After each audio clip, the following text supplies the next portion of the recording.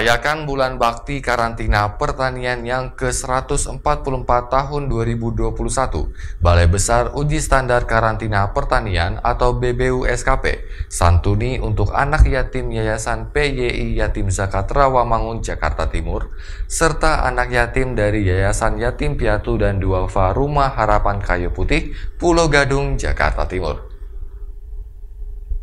Acara ini berlangsung pada Jumat 15 Oktober 2021 di Aula Kantor BBU SKP di Bilangan Rawamangun, Jakarta.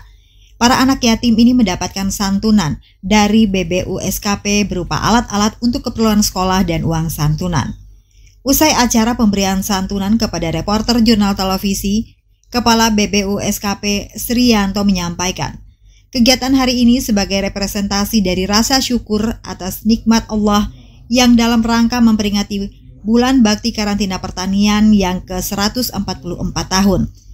Dengan santunan ini mudah-mudahan bisa memberikan motivasi dan menyemangati anak-anak yatim ini untuk dapat menggapai cita-citanya. Terima kasih. Hari ini alhamdulillah kita bersama dengan adik-adik kita dari Yayasan uh, Yatim Indonesia ya dan dari Yayasan Rumah Harapan Kita.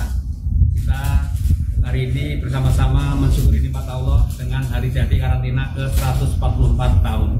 Kita berharap mudah-mudahan ke depan uh, kita uh, bersama dengan jajaran karantina terus upaya untuk meningkatkan kualitas pelayanan kita dalam rangka untuk melaksanakan tugas dan amanah negara dalam rangka melindungi sumber daya alam hayati kita dari ancaman masuk dan ter Dalam kesempatan yang sama, Tanzil Rizal pendamping anak-anak yatim dari Yayasan PYI Yatim dan Zakat Rawamangun, Jakarta Timur, mengungkapkan rasa senangnya diundang ke Balai Besar Uji Standar Karantina Pertanian.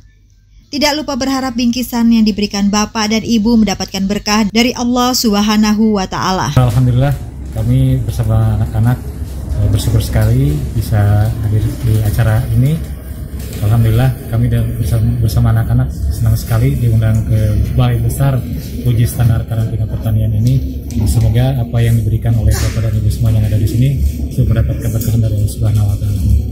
Hal yang sama juga diungkapkan Aryadi, pendamping anak-anak yatim dari Yayasan Yatim Piatu dan Duafa Rumah Harapan Kayu Putih Pulau Gadung.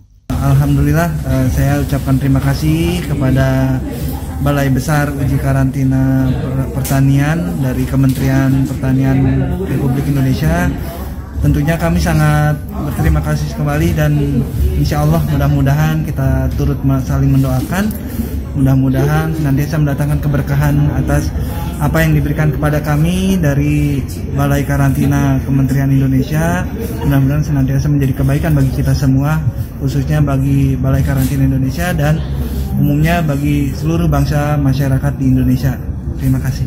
Di Jakarta, Norris Jurnal TV melaporkan.